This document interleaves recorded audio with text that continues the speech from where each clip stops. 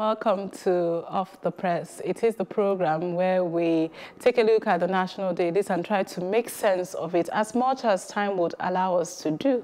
We will give in our best. And so we have a couple of papers to take a look and review this morning. I won't be alone. I'll be joined virtually by our public affairs analyst, architect Nya Etuk, who will be joining us from Uyo. Good to have you, sir, this morning.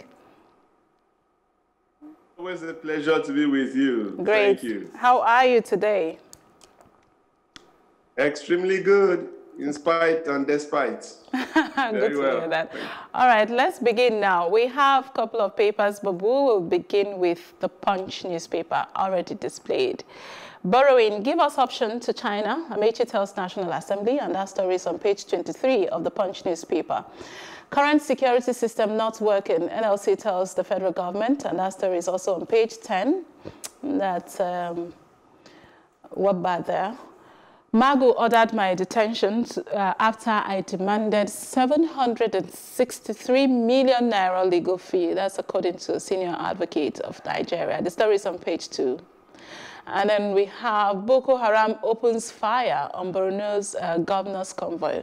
Well, in the news, we did not hear that it's Boko Haram. They hadn't confirmed, but well, the story is on page uh, 23, page 13 rather, um, of the Punch newspaper. So there's a confirmation, apparently it looks. Um, Afenifere Ohaneze uh, Middle Belt Forum replied Daura, Mamman Daura on 2023 comment now, your uncle didn't, didn't, emerge president in 2015 on competence, but zoning. That story is on page two. President's nephew's statement exposes Northerners' plot, says the uh, Middle Belt Forum. Zoning not in the Constitution, it's party's affair, Arewa Consultative Forum says. And then we have a picture story also there.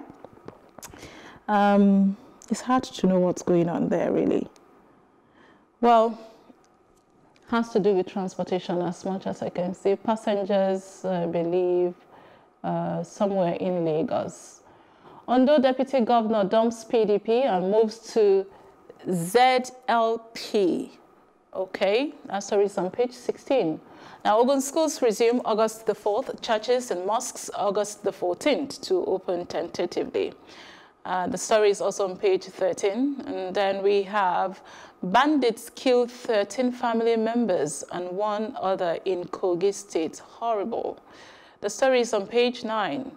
And the federal government releases schedules for the West African Senior Certificate uh, Examination, NECO and NABTEB exams as well. The story is on page 9. We had this on the news, the dates announced as well. And on page four, we have that sort of story again. Man rapes 20-year-old girl um, with Down syndrome in Ogun. This is horrible, isn't it? Four robbers, policeman killed in Oyo community bank robbery uh, in page, on page 13, I believe. Uh, this story seems to have all kinds of everything. May I now hand over to our public affairs analyst to begin from where you want to, sir? Okay, um, lots to talk about, uh, a whole lot, like a potpourri, lots. Um, uh, but one, two, three things really catch my, my attention. The first is um, the China deal and the, um, the Honorable Minister for Transportation asking the National Assembly to give um, him an option to China. And then we talk in terms of um, saying that our current security network is not working and that um, coming from the um, the NLC telling the federal government that the current situation, the security system is not working. Okay, there. And then we also have that of um, issue of zoning, which mm-hmm. is the main the, the main banner or the banner header for, for the paper. There are other things like um, the Ondo deputy governor, and of course the very, very uh, uh, distasteful issue of rape, all those things come together. But let me start with um, that of the China deal. A lot has been said about this China deal, and I have taken time to really listen to people when they have conversations, and some things really jump out at me and bother me. and it comes to our understanding and concept of government and governance. It, it, there's nothing wrong in borrowing. There's absolutely nothing wrong in borrowing.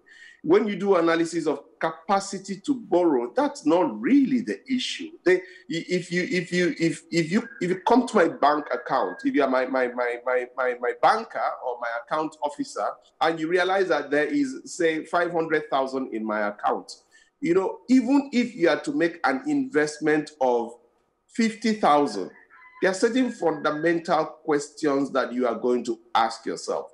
Number one, this investment does it have the capacity to repair itself? So it does, it's not whether I have money or I don't have money. Number two, what are the conditions? And if it's a good investment, and there, there are certain things that will make me leave a good investment. One of such things is the conditions attached. For instance, you get to discover that this investment is going to run for maybe one year and they are charging me 5% per week. Common sense tells you that the interest factor is going to compound such that I'm going to run into problems somewhere along the line. Now, come to the specific China deal.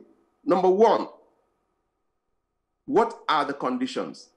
And you know, I was listening to somebody, I think last night or somewhere, saying that the little prints are so tiny that you can't, it takes a lot for you to go. I, I found such a lame explanation.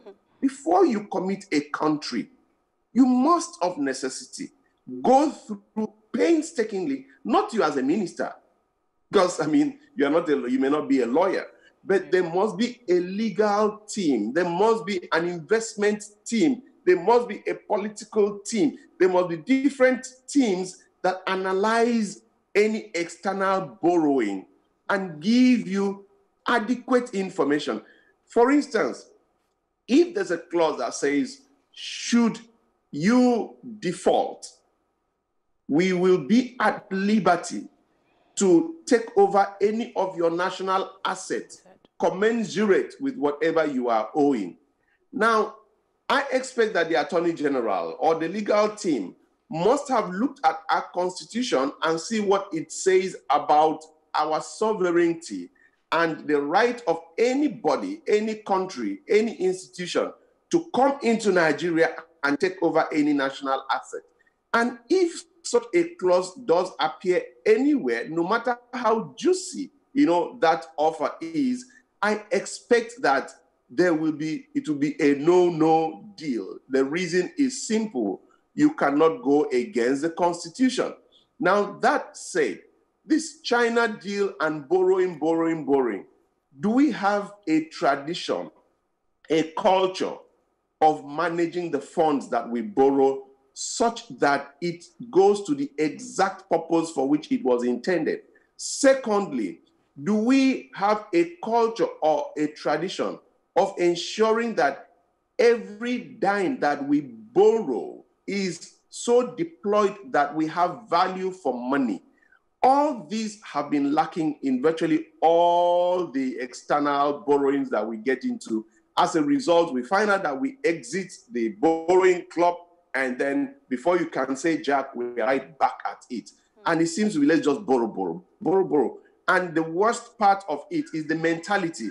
We only have four years. Let's do what we can. Let's be seen. Let's be known. The problem comes after we have left those who come after us should be able to watch it.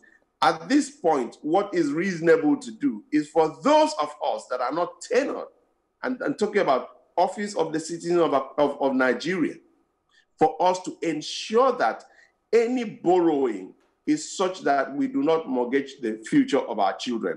So that is one area I, I would want to spend so much time on, and then right uh, maybe time for us to move on because yeah, we can't deal on that alone. Correct. There is this issue of yes. Sorry, you want to say something? No, please do go ahead. I'm affirming that yes, we can move on to another. The, yes, the issue of security is one that bothers me. NLC has come to say this is not working. I don't know if it's to prove a point. You see, when you become a president, we, we give the impression that a president is a monarch who has all power, all authority, and the Constitution gives that impression. But a president is actually the chief servant of the people. Correct. That is why government is made up of three arms. One of the arms of government is called the legislature. And one of the core functions of the legislature is representation. Representation. What is representation? It is ensuring that the expectation of the people is brought to the fore. Okay? Now, if the National Assembly representing the people, look, the executive is just the implementing arm of what the people want as articulated by the National Assembly, while the judiciary is there to make sure that nobody runs foul of the law. So if you just look at it, it's about the National Assembly representing the people, articulating, that's why they oversight the budget. They are like the main people that take care of the budget because in the budget, they ensure that the wishes, the aspirations, the expectations of the people are articulated. Hmm. Now, the executive are the implementing arm, and then this judicial uh, the, uh, legislature again has a second arm which is called oversight. In which case, the expectations of the people that we have articulated, are you implementing it properly? The people of Nigeria say we are not safe, we are not happy, we are not okay, we are being killed daily. Look at what's going on in southern Kaduna. Right. It's a narrative that we could spend a whole day on. And then the National Assembly, in their representation, you know, function, have come to the floor of the House and said, the people say that your security architecture is not working, sir. Could you please change it? That's the much they can do. Now you look at them and tell them that's not your function. That's not your responsibility. That's not your prerogative. You cannot instruct me. You cannot order me. Sir, they were not instructing or ordering you. They were putting forward the minds of the people. And you, you need to know that it is, it, is, it is a tripartite working relationship where it's, you, you, you could even just be called first among equals. The judiciary is government. The legislature is government. The executive is government. Though in Nigeria, we tend to think that it is the executive that is government. No, government has three arms. And each of these three arms must respect the other. And they must understand their functions. And if the representatives of the people have come to say, this is what the people say, your work is to say to hell with the people or to say, so, uh, okay, but now we're having service chiefs that maybe to prove a point, I don't really know if that's really necessary. Hmm. Mr. President just doesn't want to hear. And I want to appeal to Mr. President that the time he has is very short. It's better he listens. You can change the service chiefs, at least if to let the people know that you've listened to them. Because you can never be effective as a president if you don't carry the people along it is absolutely important that, that people feel that you listen to them. Right. This is not a monarchy. This is not a dictatorship. Right. It's a presidency. Okay. In the interest of time, I'm afraid we'll I hope. To, in the interest of time, I'm afraid we'll have to move on to the next paper. Uh, I'm sure that you yeah. have you can share your thoughts uh, in the next paper. So we'll take Tribune now. Uh, the Federal Executive Council okays the release of 8.4 billion naira counterpart fund for Siemens electricity deal on page 4 as Nigeria and US sign agreement. Lagos lifts ban on boarding activities on page 8. NECO exams begin October the 5th. Common entrance exam holds on October the 17th. I think these dates are really important for students to take note of and, of course, parents and teachers. Gunmen kill uh, 14 in Kogi community, 13 from one family. That's so sad and heartbreaking on page 26. 70 political parties submitted nominations for Ondo governorship election, according to INEC. And that story is on page 25. I won't receive Salah homage, says Buhari. uh, and Ogun reopens worship centers August the 14th. That's on page uh, 6. 3,443 apply for a Amotekun job in Ekiti. Interesting, on page 22.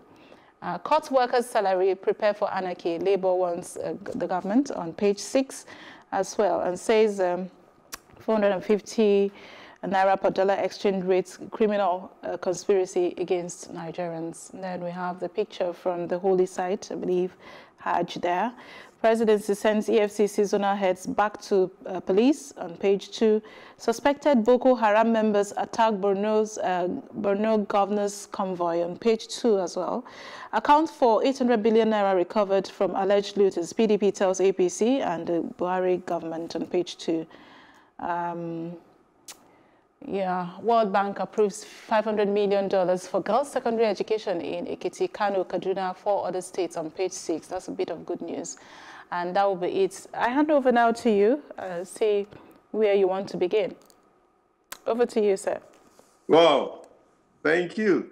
Um, lots, lots again, you talk in terms of the, um, the power, humongous amount of money again. Yep. And then boarding schools to go back to school, and then recovered loot, and then the World Bank for girl education. These are all interesting topics one would want to look at. But let's start with the, the, the money that has been approved for power. Now that's good. We need power. But I think that before they move forward, they should do an interrogation, an introspection. We have spent money like this in the past and we had no value for money. This money that we are about to start to deploy again, mm-hmm. where were the mistakes? Now, Siemens, luckily for us, is a company that is well known within the subsector. And um, if the federal government has okayed 8.4 billion as counterpart fund, and I like the word that is counterpart fund, because the concept of counterpart funding is that you don't, you're not just coming to do a contract. You are coming to say, I believe in this project, I'm putting in something, then you are giving a counterpart, you know, funding to it. I want to see the milestones that are put in place. And I want to see this deal put before the Nigerian public. There's too much of secrecy in the things we do. Right. And because of that, there's too much deals inside it. Incidentally, the, the so-called um, you know, external agencies have learned how to read, you know, relate with Nigerians. They know that, I mean, certain parts before your deal can fly, you've got to be able to grease the palms of those in power. Now, I don't want to pass any comment on that, but for goodness sake, for whatever is worth, can you just let us see the one that we ought to see? Can you give us what the timelines, you know, when you have a project, there are certain things that make a project. Apart from defining and then bringing out all the variables, there is all part before your deal can fly. You've got to be able to grease the palms of those in power. Now, I don't want to pass any comment on that, but for goodness sake, for whatever is worth, can you just let us see the one that we ought to see? Can you give us what the timelines, you know, when you have a project, there are certain things that make a project. Apart from defining and then bringing out all the variables, there is always the concept, the, the aspect of timelines. You can't undertake a project without timelines attached. You know what you want to achieve per time, and then the payment scheduling. Even the payment scheduling will now let you know how your money is released. For, for instance, this 8.4 billion, should it be released at one tranche? What is the work to be done? Can all the money be released at once in the month of January? Or is there an amount you want to do that is needed for January and what is needed for February and what is needed for March? Or are you moving this money into an escrow account so that these people are not bothered that when the time comes for to deploy any cash that they are going to be at want? Can you can you put it? The, these are the things, but you just move 8.4 billion and leave it to the man. And part of that money, a good part, like if you want to under, undertake a project, the preliminaries might take a long time, depending on the project. And by the time you deploy to site, it's probably about eight months, sometimes a year after. And then the money that you have released is money that could have been better managed, such that you know you can even put in an interest yielding account, escrow account, that allows you to make something instead of just pushing it across to the people. And it also makes sure that at any given point in time, you can, like the Americans would say, cut your losses. So I do not know how they are managing this particular project. And I think that project managers in Nigeria should be availed of the details so that they can give their opinion and then we'll have a governance that is um, more focused. Mm-hmm. If you come to um, recovered loot, you know, it's, it's, it's, I, I don't know the word to use. If you have collected this amount of money, isn't it just ethical mm-hmm. that you should let us know how these monies have been deployed. Why this secrecy? I look forward to, you, you see, the, the best way to commit crime is to introduce darkness. Right. Light is the worst enemy of crime. So secrecy is the twin brother of darkness. Any government that thrives in secrecy is a government that is prime for corruption. That's just as simple as possible. So if this government wants to fight corruption, one of the cardinal objectives or uh, what one of the things that they, they really set out as an agenda is transparency, openness, accountability. And so far, even the amount of money collected, if you collect what EFCC says from what Minister of Finance says, from what the um, information minister says, you'll be shocked at the disparity. You'll be shocked at the yawning gap between the figures. So the question is, who really has the figures?